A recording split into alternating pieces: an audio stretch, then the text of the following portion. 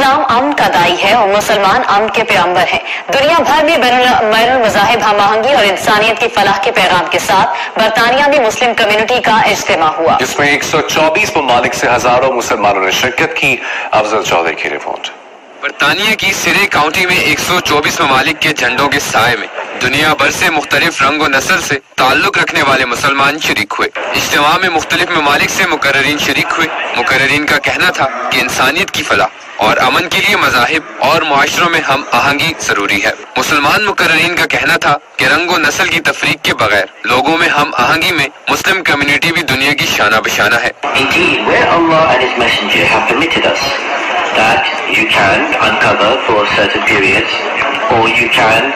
where Allah and His Messenger have permitted us that you can uncover for certain periods, or you can show your face. اجتماع میں شریک مقررین نے ہم نے اس سے گفتگو کرتے ہوئے اجتماعیت کی کوششوں کو سراہا۔ دنیا سے لوگ مختلف مذاہب سے آئے ہیں سارے اکٹھے ہوئے ہیں اور ایک محبت اور امن کا پیغام لے کے آئے ہیں اور محبت اور امن کا پیغام واپس اپنے ملکوں میں لے کے جا رہے ہیں۔ حضرت صلی اللہ علیہ وسلم ایک افاقی نبی ہے اور آپ کا پیغام پوری دنیا کے لیے تھا اور آج بھی اس کی بہت سخت ضرورت ہے کہ اسلام کا جو امن کا پیغام ہے وہ دیا جائے ہمیں یہ بڑی خوشی ہے کہ اتنے حضرات اتنے حضرات شامل ہوئے ہیں اس تقریب میں اور یہی امید کے ساتھ جو پیار امن چین و محبت کا پیغام ہے جو اسلام کا پیغام ہے وہ آپ اس جلسے میں دیکھ رہے ہیں۔ اجتماع میں نبی آخر الزما حضرت محمد صلی اللہ علیہ وآلہ وسلم کے دنیا کے حکمرانوں کو لکھے گئے خطوط تراجم کے ساتھ آویزہ کیے گئے۔ جو شرکا کی توجہ کا مرکز رہے۔